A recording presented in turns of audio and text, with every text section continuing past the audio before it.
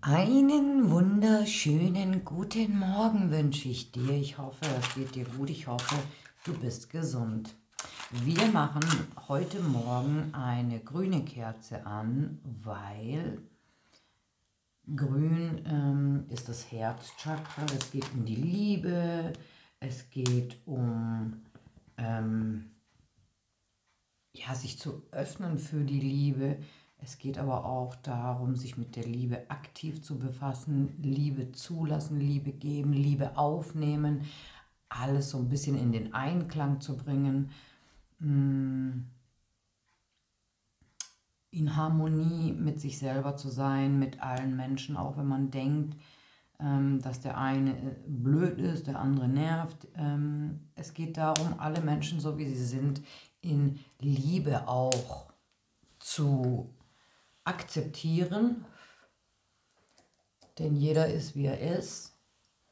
Jeder hat seine Themen und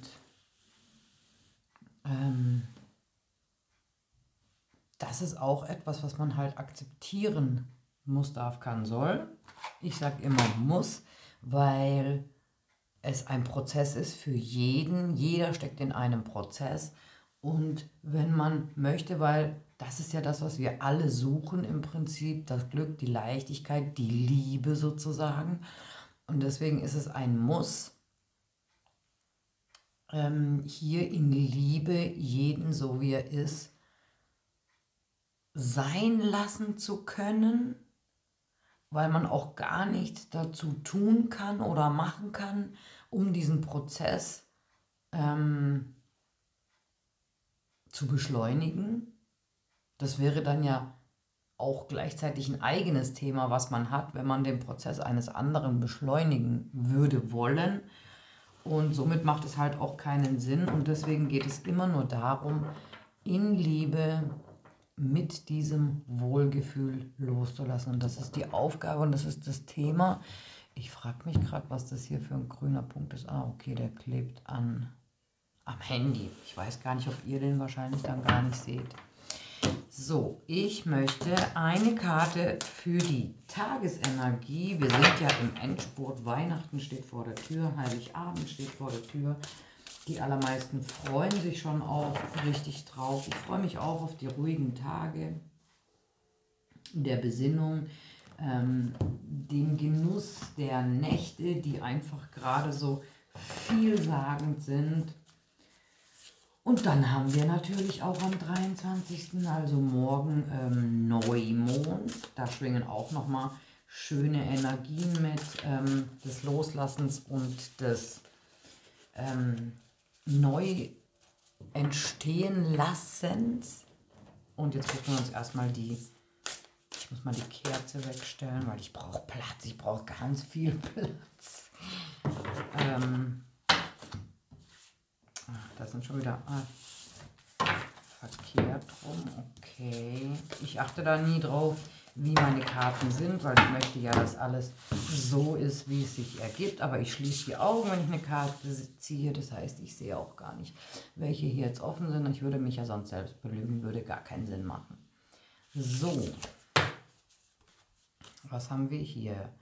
Der Page der Münzen, das ist der Neubeginn. Ich glaube, gestern hatten wir das Ass der Schwerter, ähm, Kommunikation, die Möglichkeit, etwas zu klären, ähm, etwas zu entscheiden auch, sich für sich selber zu entscheiden, für die eigene Entschlossenheit zum Beispiel auch zu entscheiden. Und heute haben wir genialerweise den Page der Münzen. Das ist etwas, was gerade entsteht. Und man sieht auch hier so schön mit der Krake hier dargestellt, Vielleicht gab es schon viele scheinbare Neubeginne hier mit den ähm, Fühlern, so nach dem Motto, hier ist ein Sack mit Losen, ja, aber nur ein Los ist der Hauptgewinn und alles andere sind Nieten sozusagen. Dann geht es jetzt um genau diesen Hauptbeginn, äh, Hauptgewinn, weil es jetzt darum geht, etwas Handfestes, etwas Sicheres zu beginnen, durch die Erkenntnis, womöglich durch gestern, ja, zum Beispiel, oder durch die Klarstellung von gestern entfacht oder erwacht jetzt hier etwas, was Hand und Fuß hat, etwas, was sicher ist, etwas, worauf man bauen kann. Ja, das ist die Tagesenergie von heute. Ich wollte eigentlich ein komplett anderes Video machen, weil so viele in einer Dreieckskonstellation sind und äh, ein Thema darüber machen. Ähm, aber wir lassen es jetzt einfach so laufen. Ich möchte jetzt lieber wissen, um was es hier geht bei diesem ernsthaften, schönen Neubeginn. Was wurde manifestiert bei ganz vielen, was jetzt geschehen darf?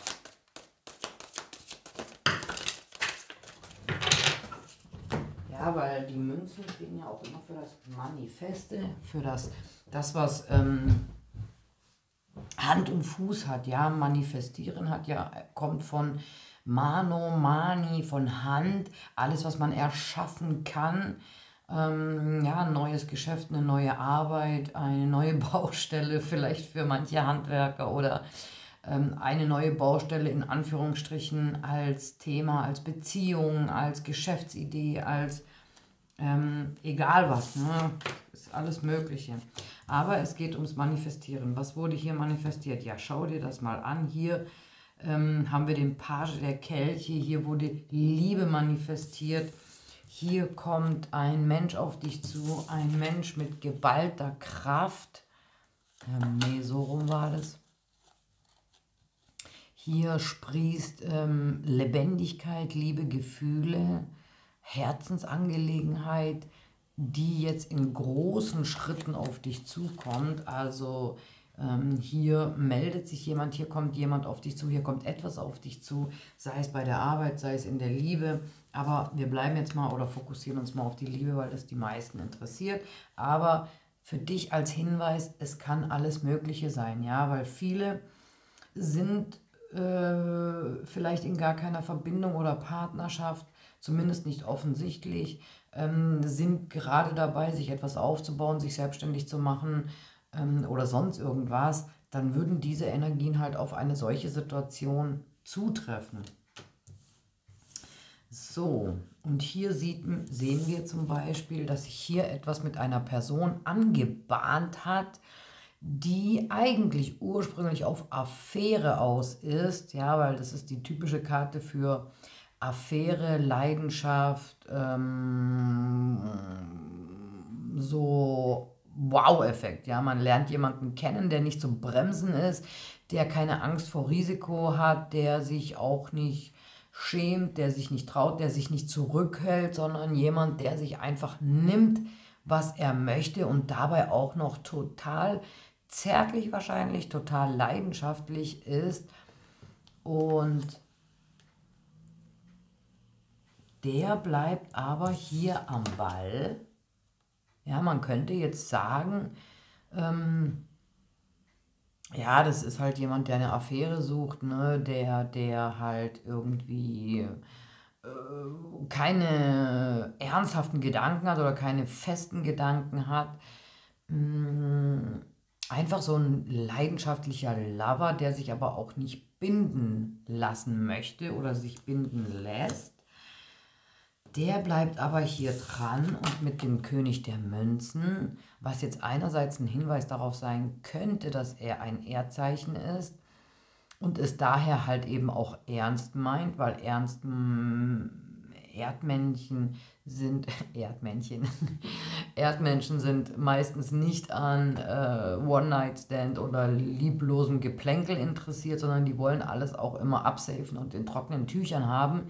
Und dadurch, dass wir hier den König der Münzen haben, ist es halt auch jemand, der sich seiner sicher ist. Ne? Aber es hier womöglich begonnen hat in einer zügellosen ähm, heißen ersten Nacht zum Beispiel, aber der hier auch ernste Absichten hat und es einem halt so vorkommt. Oder er vielleicht das jetzt so als ähm, leidenschaftlicher, leidenschaftlichen One-Night-Stand gesehen hat, aber tatsächlich hier halt sogar dran bleibt,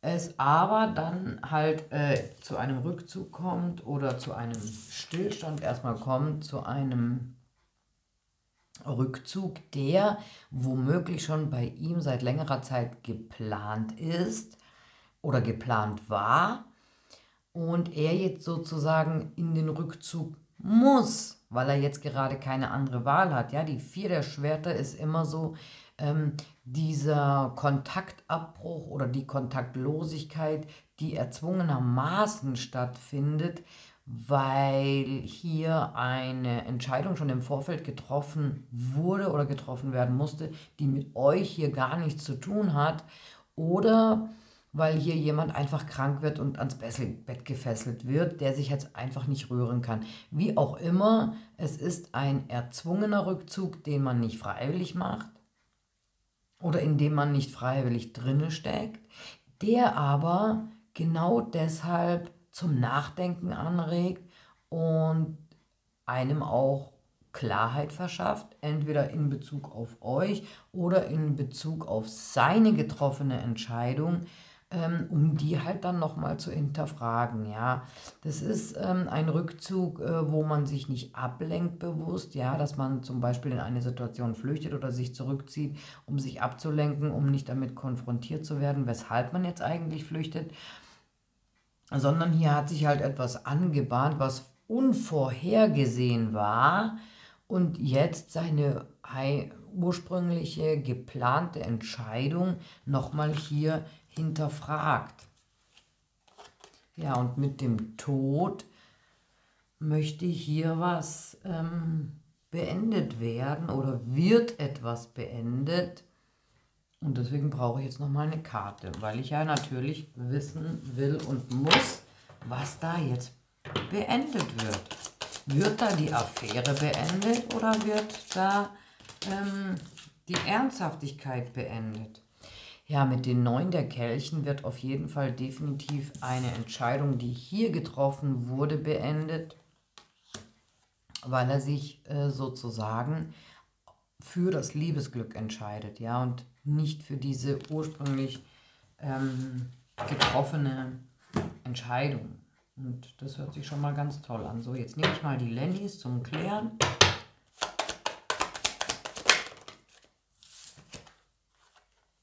Ja, da gab es ein Date, da gab es einen Kontakt.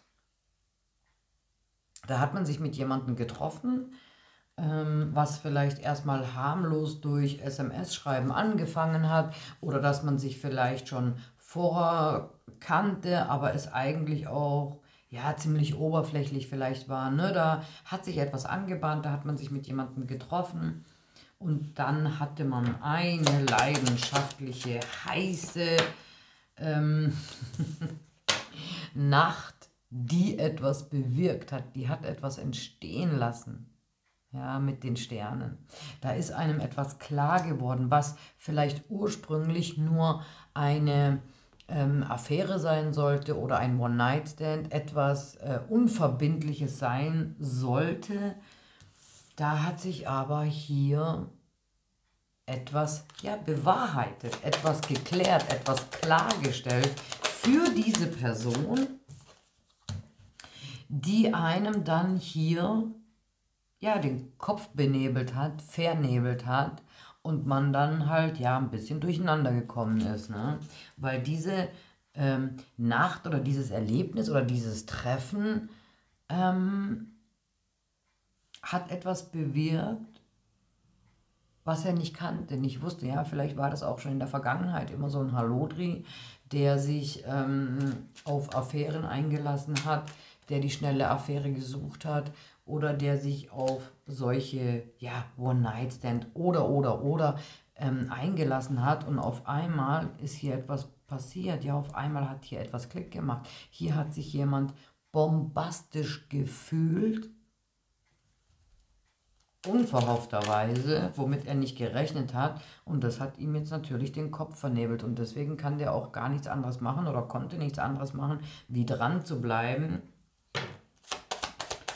um diesen Unklarheiten seiner Gefühle auf den Grund zu gehen und zu schauen, was da los ist und hat dann erkannt, dass er hier eine Entscheidung getroffen hat, die womöglich falsch war und er deswegen auch ja ähm, in einer für ihn unklaren Situation ist. Ja, da haben sich Gefühle entwickelt, da hat sich was entwickelt. Hier der Page der Kelche. Ähm, unverhoffterweise hat sich etwas entwickelt, was für ihn einfach sehr grandios war und sich richtig angefühlt hat. Ähm, er das aber hier noch nicht so wirklich mit in seine bisher geplanten ähm, Entscheidung oder Lebensweise, ja, wie wenn halt etwas Ungeplantes dazwischen kommt und jetzt weiß man halt nicht, was man machen soll, ne? Hier, da ist dann der Zwiespalt da und deswegen muss er sich zurückziehen. Wie gesagt, gezwungenermaßen. Puh, da sind drei Karten gefallen. Ich muss sie dir zeigen. Du, die Liebe, das Herz und er.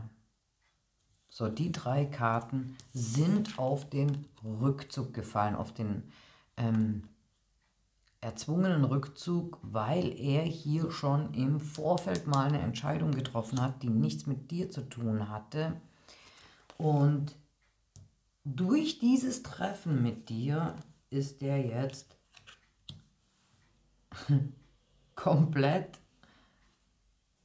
durcheinander, ja, mit den Wolken durcheinander. Sein Gehirn ist vernebelt, ähm, weil das halt natürlich jetzt alles umwirft von seinen Plänen.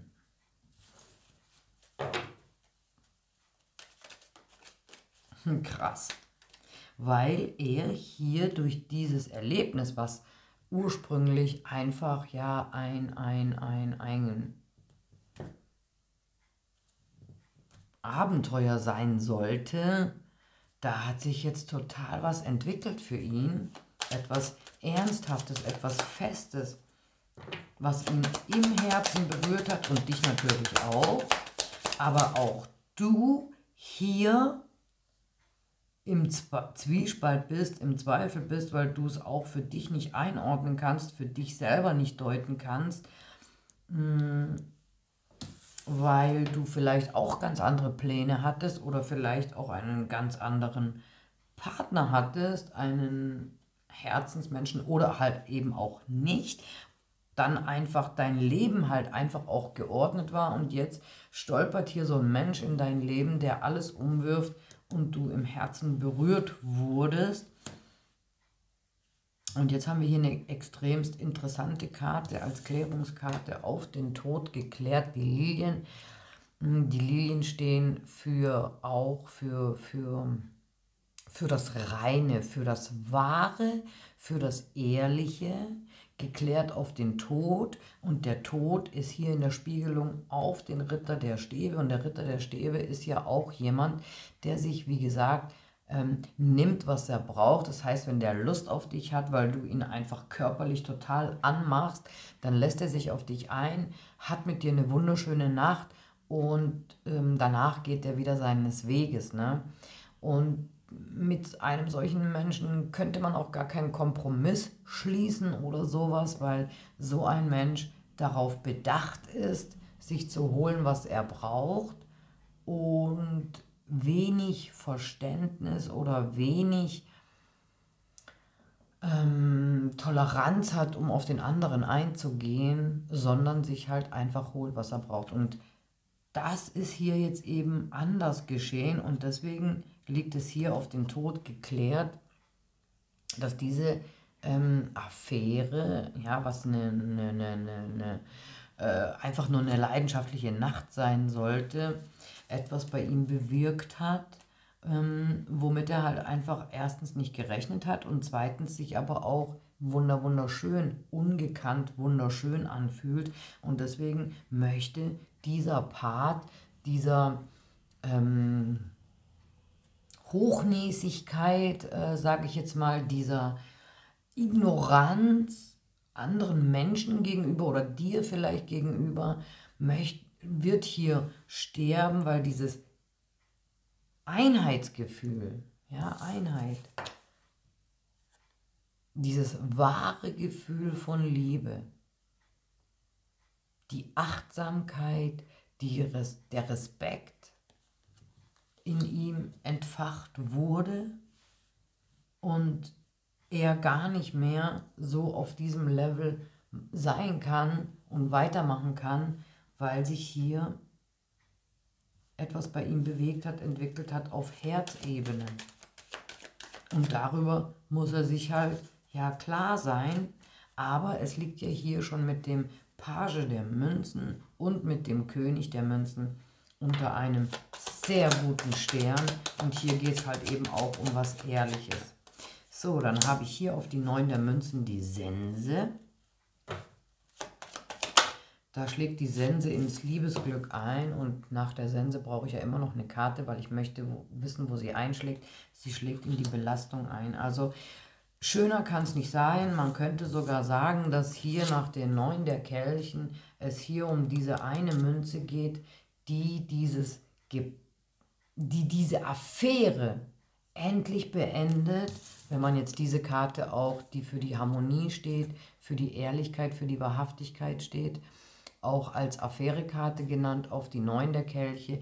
Und hier schlägt jetzt sozusagen die Sense ein, damit endlich diese Belastung auf diese Affäre rausgeht und man endlich ähm, diese Verbindung oder Beziehung oder Affäre in trockenen Tüchern legen kann und somit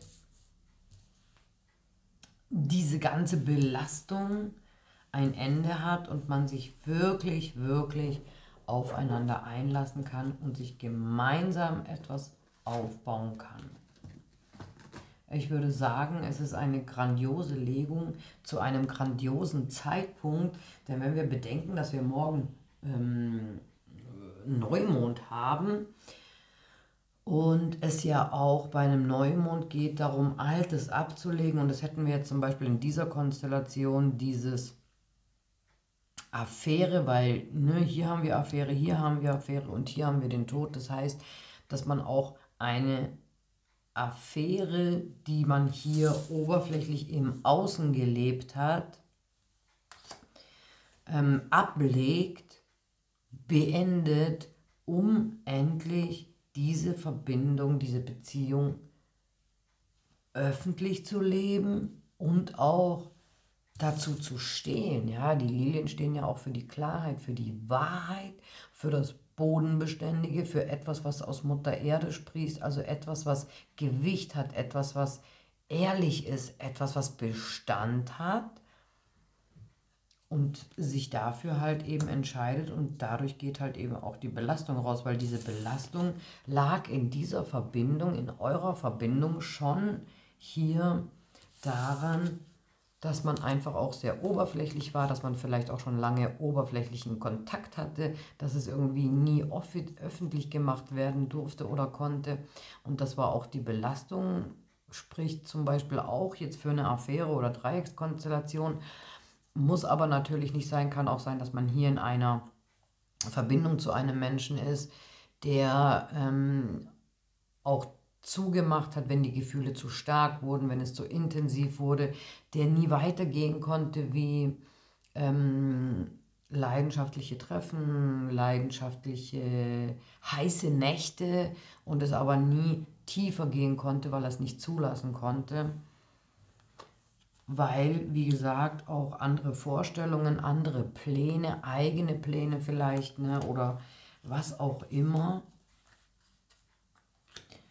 ähm, kann auch sein, dass es um Ordnung in einem Leben geht, wo man sich einfach schon etwas aufgebaut hat und jetzt keine Lust hat hier auf einen Störenfried oder auf äh, Achterbahngefühle oder sonst irgendwas. Aber hier geht endlich etwas zu Ende, was für großes Leid gesorgt hat, was richtig belastend war. Hier geht eine Phase der Belastung, des Leides, des Kummers, mit der man sich aber arrangiert hat. Ja, die Neun der Kelche ist ja auch ähm, eine Art Kom Komfortzone in Bezug auf die Liebe, mit der man sich arrangiert hat, die man halt so hinnimmt und sich dabei aber auch ganz wohl fühlt, sie aber dennoch belastend war und auch hier schlägt die Sense ein. Das heißt, dieser Belastung in der Liebe wird ein Ende gemacht. Es wird zu Ende gehen und passt halt eben auch zum Neumond. Und jetzt möchte ich noch ein Steinchen ziehen unabhängig, ich mach mal, ich nehme mal beide Steine, weil ihr auch hier beide gefallen seid, einfach auch zur Unterstützung für die ähm, belastende Situation. Jetzt muss ich mich kurz konzentrieren. Eine, ein Stein für dich. Tja, da habe ich den Rosenquarz und der steht auch dafür, ähm, die Liebe reinzulassen, sein eigenes Herz zu öffnen, empfänglich zu sein. Und das sieht man ja auch hier ähm, dass du dir hier irgendwo nicht ganz sicher bist. Ne? Du weißt nicht, ob du dem Braten trauen kannst. Du weißt, du, du denkst vielleicht auch, dass er halt ein Halotri ist, dass du für ihn nicht mehr wie eine Affäre bist, weil er vielleicht auch gar nicht mehr würde wollen oder sich gar nicht binden würde wollen. Deswegen schaust du hier so ein bisschen kritisch auch in diese Situation rein, denkst aber halt auch an dieses ähm, wie alles entstanden ist und denkst natürlich auch im Gefühl an, diesen, an diese Verbindung, an dieses Erlebnis, ähm, wie schön es halt eben auch für dich war, mit den Sternen hier geklärt. Auch etwas sehr Harmonisches, ne? etwas Vollkommenes sozusagen, aber auch etwas Freies, ja. Und deswegen ist es hier mit dem Rosenquarz für dich ähm, hier als Unterstützung gedacht, ähm, in die Herzöffnung zu kommen, in die Herzöffnung zu gehen, um die Gefühle zuzulassen. Und jetzt noch ein Stein für ihn. Tja, da habe ich, da geht es ums Sprechen, Kommunikation und aber auch für die Klarheit einer Angelegenheit.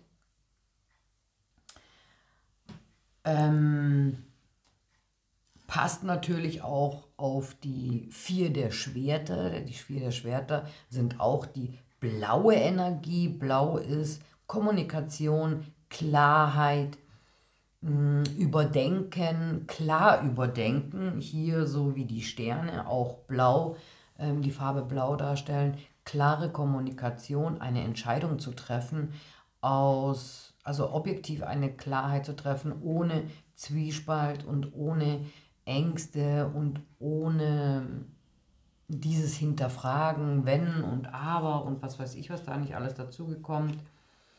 Also, wie gesagt, für ihn ähm, ist es der Soda-Liedstein, für äh, Selbstbewusstsein, auch für Mut natürlich, sich hier einzulassen, den Zwiespalt abzulegen und halt eben auch klar zu kommunizieren, klar zu denken, ähm, um halt eine klare Entscheidung diesbezüglich treffen zu können, um klar etwas Altes abzulegen, um sich bewusst ähm, darauf einzulassen. Aber dafür muss natürlich erst eine gewisse Belastung, ein Zwiespalt raus.